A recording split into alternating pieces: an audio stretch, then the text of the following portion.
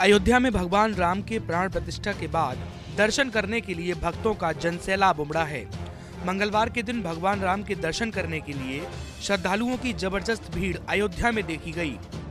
दर्शन करने के लिए अयोध्या में लंबी लंबी लाइनें लगी हुई हैं।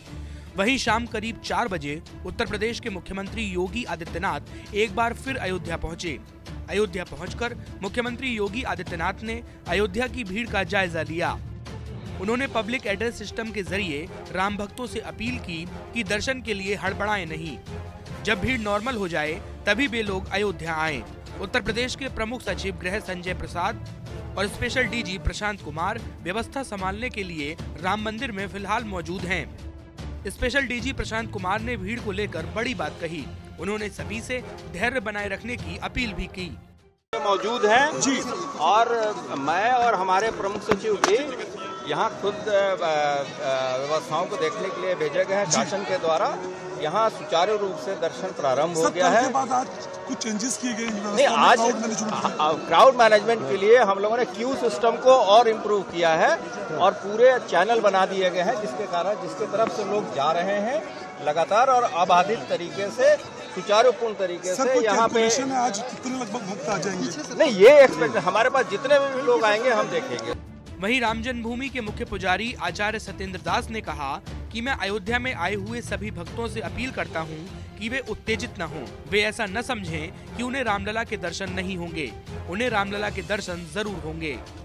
मैं आए हुए राम भक्त जो अयोध्या में उपस्थित हैं, जिनकी संख्या बहुत अधिक है और इनकी संख्या को देखते हुए सभी दर्शनार्थियों को मैं रामलला की ओर से प्रार्थना करता हूँ, अपील करता हूँ कि किसी प्रकार के ज़्यादा उत्तेजित न हो और यह घबराएँ नहीं कि दर्शन नहीं होगा, सभी को दर्शन मिलेगा।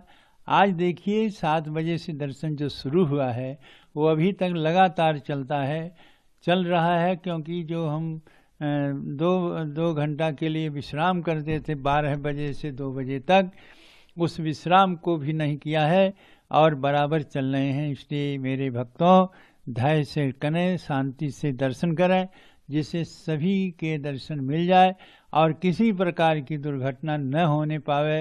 यह अयोध्या धाम है और यह जिस प्रकार से आप लोगों का उत्सव है, उत्साह है, यह उत्साह बहुत ही प्रशंसनीय है कि राम, भगवान राम के प्रति आप लोग किस प्रकार के उत्साह दर्शन करने की लालायित हैं, वो सभी को दर्शन मिलेगा। लेकिन किसी प्रकार का कोई भी घटना न हो जाए। इसलिए जो धक्का मुक्की वाली बात है, वो जहाँ शांति से रहें एक एक व्यक्ति शांति से जाके और मंदिर का दर्शन करें, भगवान राम लला जो विराजमान है, उनके दर्शन करें। और इसमें घबराए की बात नहीं है। कोई भी व्यक्ति ऐसा नहीं है जिसको दर्शन न कराया जाए, सभी को दर्शन मिलेगा, इसलिए शांति से और बिना किसी घबराहट के, बिना किसी धक्का मुक्की के शांति से चल करके रामला का दर्शन करें।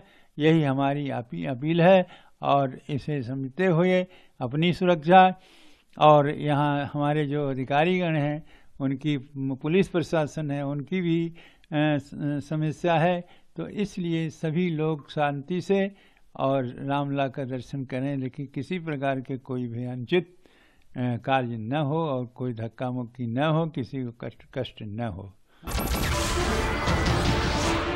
नमस्कार, मैं हूँ मानक गुप्ता। अगर आपको हमारा ये वीडियो पसंद आया हो तो इसे लाइक और शेयर ज़रूर करें।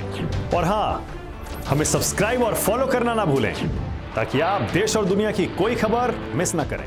तो जुड़े रहिए हमारे साथ और देखते रहिए न्यूज़ ट्वेंटी